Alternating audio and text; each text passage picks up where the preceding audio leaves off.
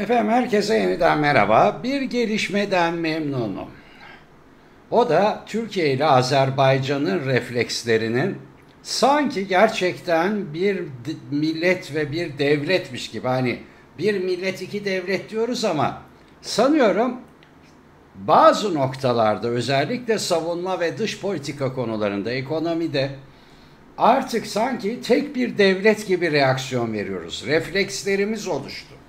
Birlikte reflekslerimiz oluştu. Ankara Bakü hattında e, tabii ki vardı, tabii ki vardı.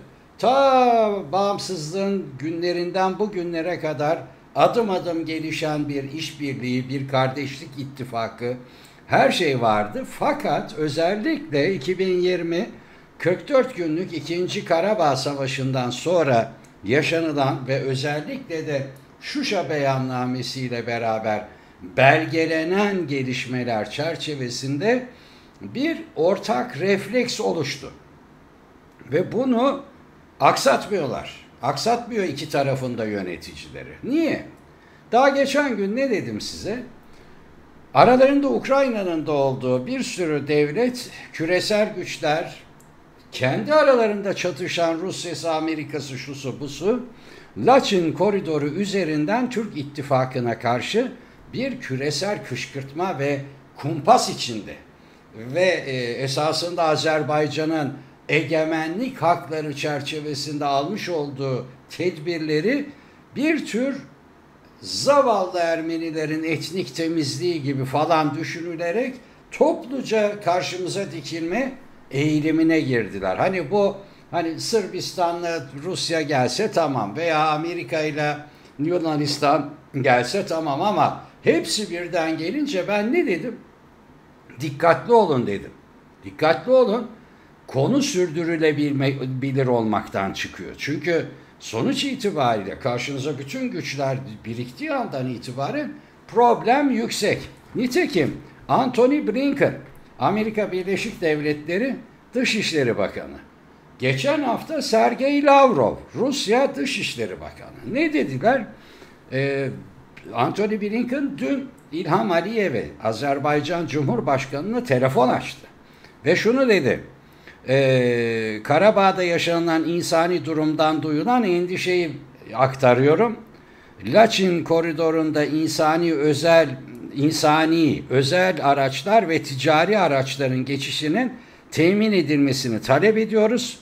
Dağlık Karabağ, onlar öyle diyor. Amerikalılar da Dağlık Karabağ diyor. Kardeşim Dağlık Karabağ diye bir yer yok. Karabağ var.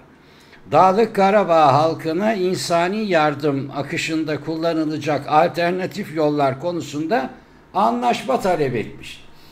Yani Adam yolunu Ermeniler onaylıyorsa biz kullandıracağız. Yok onaylamıyorlarsa Laçin'den öyle bir hikaye yok. Öyle bir hikaye yok. Egemen devletlerin şeyinde öyle bir hikaye yok. Ben diyebilir miyim Amerika Birleşik Devletleri'ne niçin Meksika sınırına duvar örüyorsun diye. Diyemem. Demem saçmalık olur. Yani çünkü adamın egemenlik alanı. ister duvar örer, ister dar ağaçları asar. Ne halt ederse eder. Ama sonuç itibariyle durum bu. Yani bir böyle kumpasın, bir kışkırtmanın üzerinde Alman parlamentosu dış ilişkiler başkanı Michael Roth. Acaba öbür Roth'un nesi oluyor? Bir tane daha vardı bir. Claudia Roth vardı. Belamız. PKK'lıların kadını. Claudia Roth. Bu onun kocası mı, kardeşi mi, nesidir bilemem artık. Diyor ki Laçin koridoru engellenmesi uluslararası hukuka aykırıdır, değildir. Amerika Birleşik Devletleri Avrupa bu tür bir etnik temizlik e, girişimine karşı sessiz kalamaz. Ne etnik temizliği ya? Ne etnik temizliği? Ve Ermenistan'ı Rusya'nın eline bırakamayız. O sizin probleminiz. Ermenistan zaten zamanında Rusya'nın eline bırakılmış. Ama biz onu geri almaya çalışıyoruz. Bu kadar mesele açık. Şimdi bunlardan nereye geleceğim? Ceyhun Bayramov geldi. Hakan Fidan'la uzun görüşmeler yaptı. Cumhurbaşkanı Erdoğan tarafından kabul edildi. İşte refleks bu. İşte refleks bu. Niçin? Bütün dünya sana Laçin koridorunda karşı çıkıyorsa sen de Türk ittifakı olarak bir şekilde ona cevap vermek durumundasın. Nitekim Hakan Fidan şu sözleri söyledi. Laçin yolu, yolu Azerbaycan toprağıdır. Dolayısıyla Azerbaycan hangi tedbiri gerekli görüyorsa onu alır ve almakta da en büyük egemenlik haklarından biridir. Bitti. Nokta. Başka söylemeye gerek yok. İnsani mürazalarla orada Azerbaycan'ın her türlü çabayı da gösterdiğini görmekteyiz. Yani etnik temizlik nerede? Yaşlı kadınların sepetinden tutup öbür tarafa geçiren Azerbaycan gümrük sorumlusu nerede? Yani olacak şey değil. Zaten tıbbi geç, geçişlerde müm, mümkün. Kapsamlı malzeme nakline uygun diğer güzergahlarda tahsis edilmiş durumda. Yani adam yolu. Azerbaycan diyor ki benim egemenlik toprağımda bir yere bir malın yani düzenli ve büyük bir nakliye işinin bu yoldan olmasını istiyorum. Bu kadar. Bu kadar. Laçin koridorundan değil, şuradan yapacaksınız diyor. Niye? E, kontrol edecek. Kontrol edecek. Ve gerçekten e, özellikle e, bölgesel istikrara giden yol kapsamlı bir barış anlaşmasından geçiyor Hakan Fidan. Bunun için Zengezur iletişiminin açılması büyük önem taşır diyor. Yani sen Laçin e, yolunda e, çalışmalarına devam edeceksin. Zengezur'da e, ipe un sereceğim falan. Böyle bir hikaye yok bu dünya üzerinde. Ama Türkiye ile Azerbaycan bunu şimdi bütün dünyaya net olarak iki bakanın yanın bakın Bayramov diyor ki Bakü ile Erevan arasında uluslararası norm ve ilkelere dayalı bir barış anlaşmasının imzalanması önemlidir. Ermenistan'ın önerdiğimiz egemenlik e, ve sınırların e, dokunulmazlığı ilkesine dayanan barış anlaşmasının büyük önem taşıdığı açıktır. Yani biz diyor barış anlaşmasına yanıyor, önerdik. Ermenistan yükümlülüklerini yerine getirmenin aksine bakın yerine getirmenin aksine henüz askeri birliklerini Azerbaycan topraklarından çekmemiş ve Zengezur koridorunu açmıyor. Aynı zamanda bir de iç işlerimize karışmaya çalışıyorum. Ne varsa o iç işlerinde enteresan. Bunu da bakacağım. Zengezur koridoru yakın gelecekte açıl koridorunun yakın gelecekte açılması esastır diyor.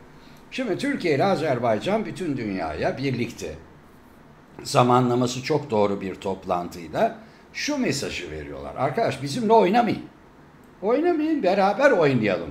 Yani bu, bu oyunu beraber oynayalım ve bu iş bitsin mesajı veriyorlar. Çünkü ee, Hakan Fidan'ın da Ceyhun Bayramov'un da açıklamalarında e, Bakü ve Ankara'nın çok e, birlikte ve hareketi güçlü bir şekilde yürüterek e, Ermenistan'ı da Kafkasya e, stratejik alanının bir parçası yapmaya çalıştıklarını da anlıyoruz. Yani öyle Rus'a bırakmamak falan öyle olmuyor. Ancak ve ancak Bakü ile Ankara'nın gel Erivan sen şurada otur. Burada bir işlerimizi halledelim. Şu kapıları falan da açalım demesiyle oluyor. Bunu Avrupalılar falan o tabi Berlin'den ne görecek o? Berlin'den haritaya baktığında o kadar görüyor işte. O yüzden önemsiyorum. Ee, Hakan Fidan'ın cümlesini de burada ifade edeyim. Güçlü Türkiye, güçlü Azerbaycan, güçlü Azerbaycan, güçlü Türkiye'dir diyerek zaten bütün dünyaya şunu söylüyor. Aramızdan biriyle ayrı ayrı oynamayın. Biz burada birlikteyiz ve bu birliktelik içinde bu işleri yürütmekte kararlıyız. E, olumlu karşılıyorum. Umarım karşımızdakiler de bunu net olarak Amerika'sıyla, Rusya'sıyla, Fransa'sıyla, İngiltere'siyle anlarlar. Yani bunlar zaman içinde bakın söyleyeyim size e, içimize saldıkları bir takım unsurlarla bu kardeşlik ittifakının sağını solunu kurcalamaya da çalışacaklardır. Ha, onu da söyleyeyim. Onu da söyleyeyim. O konuda e, görev alacak bir sürü de insan hazırlamışlardır sağda solda. Biliyorsunuz hain kotamız çok fazla ama e, sonuç itibariyle tabii ki Kuvayi Milliye ruhu var oldukça bu topraklarda Gazi Mustafa Kemal Atatürk'ten e, miras öyle bu işler öyle kolay kolay saçılmaz. Hoşçakalın.